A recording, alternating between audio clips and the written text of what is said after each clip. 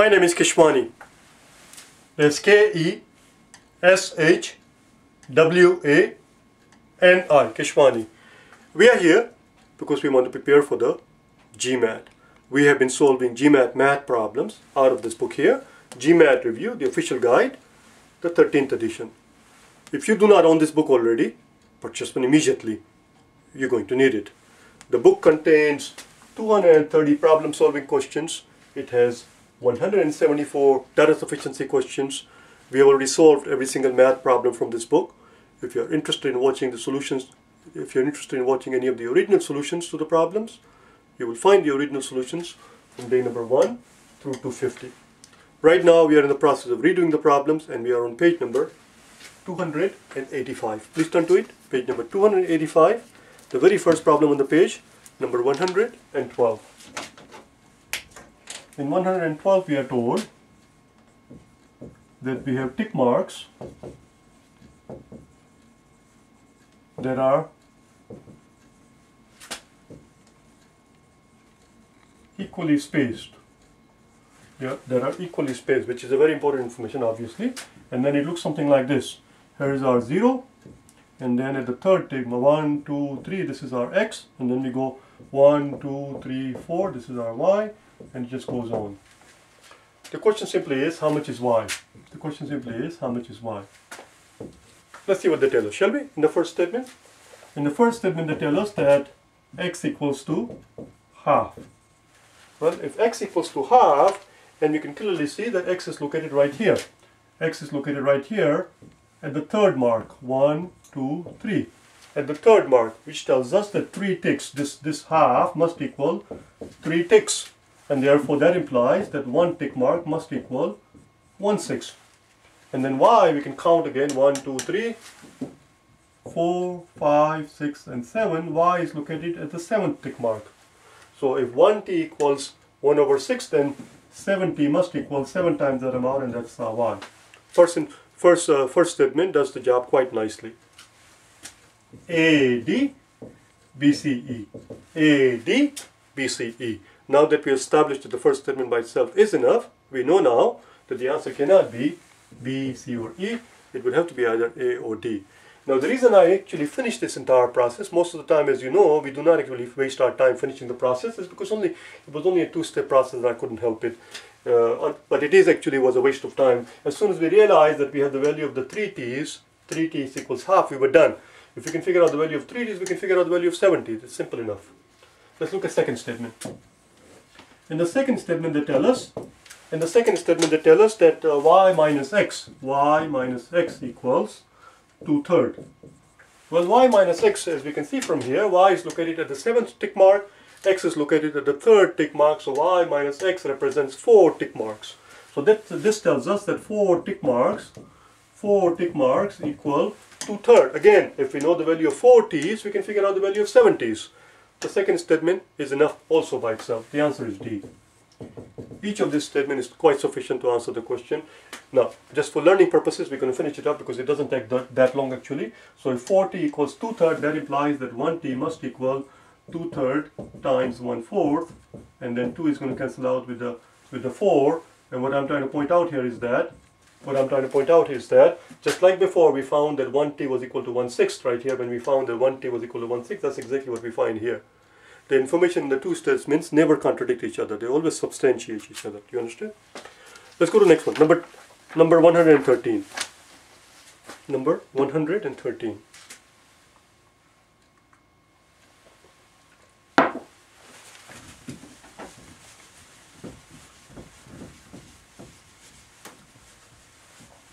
In number 113, we are given a, a triangle. They do not tell us what particular kind of triangle it is. It could be any old triangle. It does not need to be right angle triangle or isosceles triangle or an obtuse or a, or acute triangle or equilateral triangle. It just says in triangle ABC. So we're just going to draw, draw a triangle here.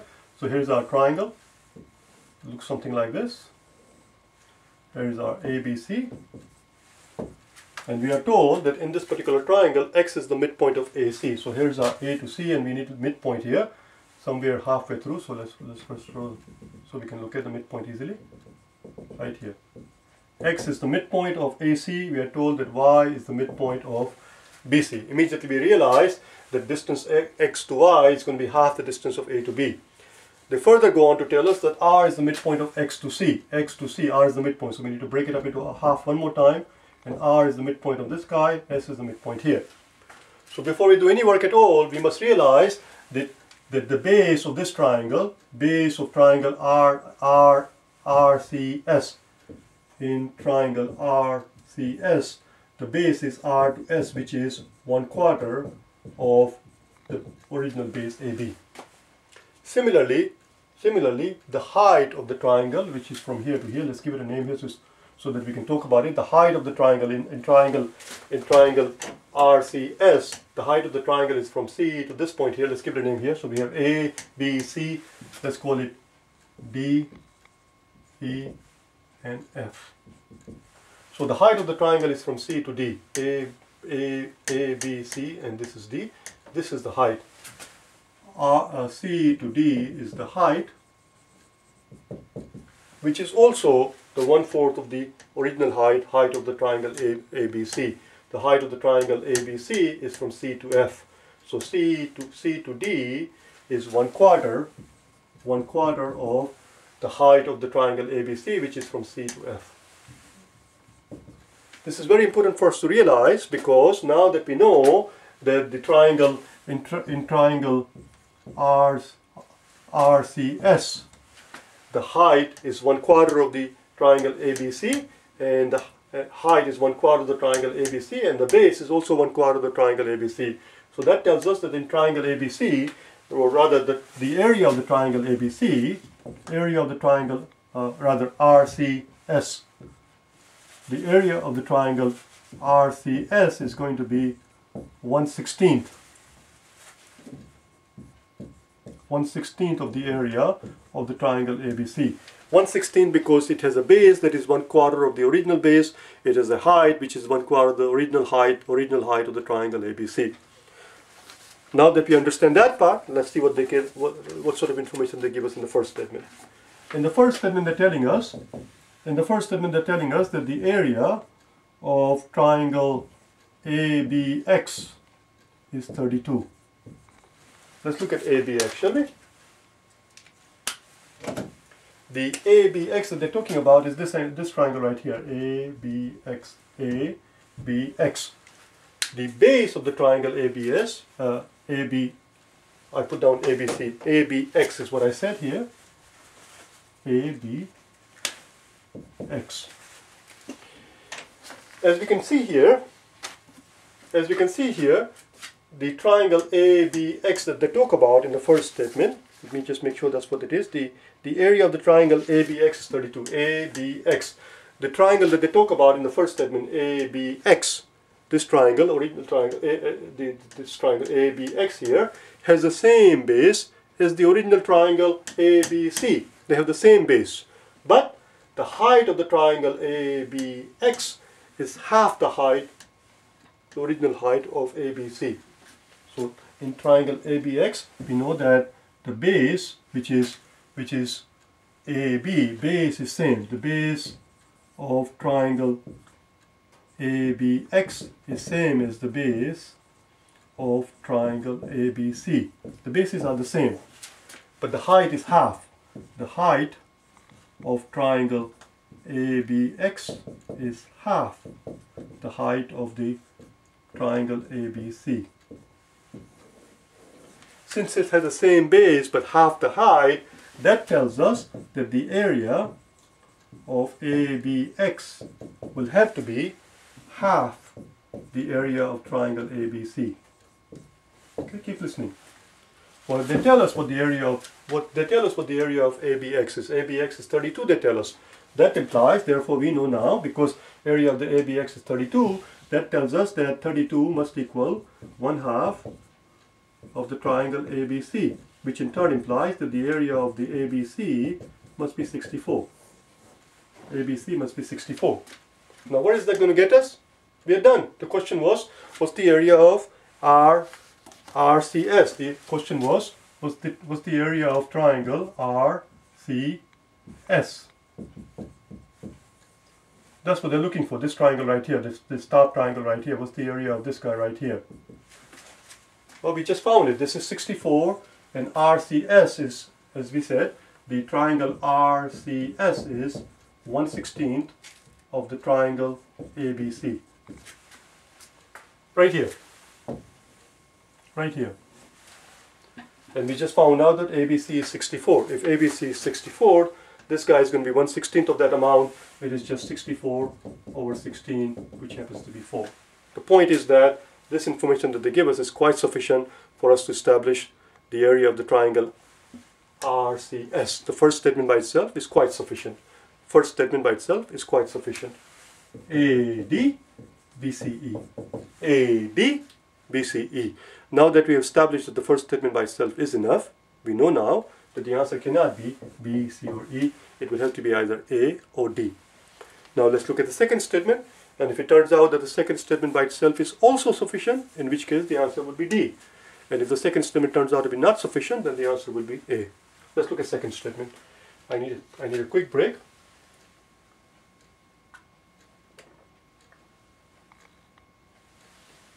All right. All of this information has to go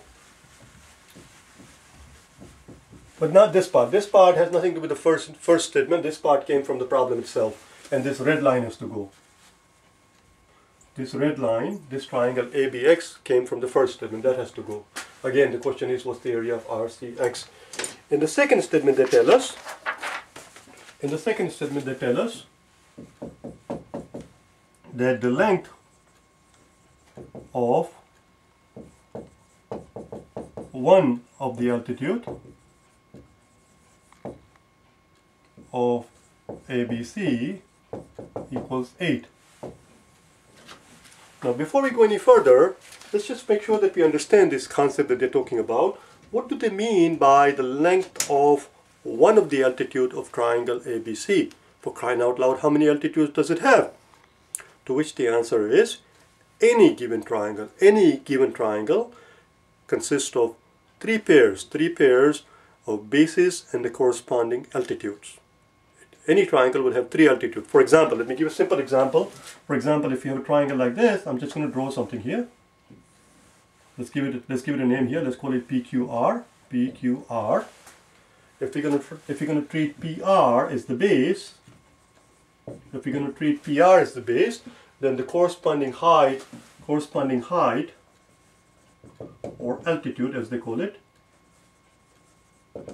the corresponding height or altitude with the side PR, if you're going to treat PR as the base, then what we are asking ourselves is that from this bottom here, from this base, what's the highest point in the picture? Well, the highest point in the picture, looking from this vantage point, this is looking from this point of view, is point Q. And we have to find out how high is it from the ground. This, this distance right here, let's give it a name here, let's call it, let's call it PQR, let's call it S. So the height would be Q to S. But that's, that's, just one, that's just one altitude. On the other hand, if you were to treat point P to Q, if you were to treat point P to Q as our base, if you were to treat point P to Q as our base, then the question is, looking from that point of view, from this vantage point, looking from here, it's upside down. We ask ourselves, how high is the highest point? The highest point in the picture is this one, and we have to draw a 90 degree angle. And that distance right here, from here to here, we have P, Q, R, S, let's call it T. So T to R would be the altitude. And there is one more. There is one more. So we did PR, we did PQ, now we have to do RQ. RQ. And if RQ is the base, if RQ is the base, then looking from that vantage point, the higher I should I, I shouldn't have let me do it in a different color so we can see it easily because I made it very crowded here. So now if, the, if we treat this as a base, if this is our base, if you're going to treat this as the base, then we have to extend this out just like before. Drop the perpendicular from here at a 90 degree, at a 90 degree. And this distance that you see there, we are up to T, P, Q, R, S, T. Let's call this point U. P to U, P to U is the corresponding altitude, corresponding height. If we're going to treat P to R, rather Q to R, Q to R is our base. If Q to R is the base, then the altitude is this. The height is this.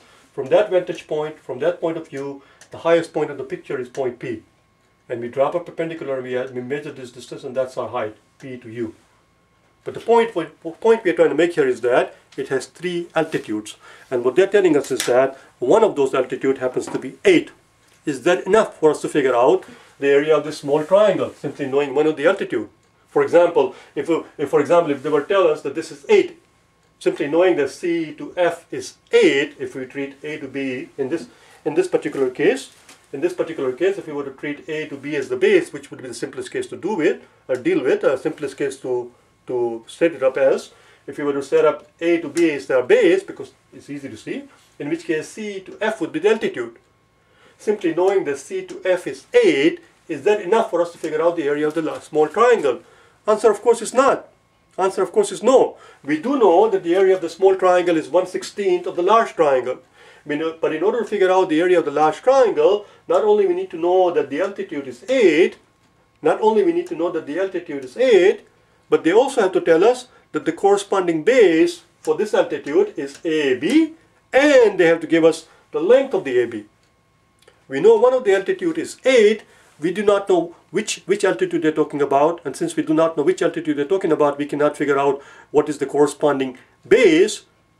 And secondly, even if we did know what the corresponding base is, even if we did know exactly which altitude they're talking about, we don't know the, we don't know the length of the base. Therefore, we cannot figure out the area of the triangle ABC. And if we cannot figure out the area of the triangle ABC, we cannot figure out the area of the triangle RCS, because RCS is 1 16th of the area of the triangle ABC. Second statement does not do the job. Second statement does not do the job. The answer is A. Answer is A. And that's all there was. That's all there was. I'll see you tomorrow, okay? Bye now.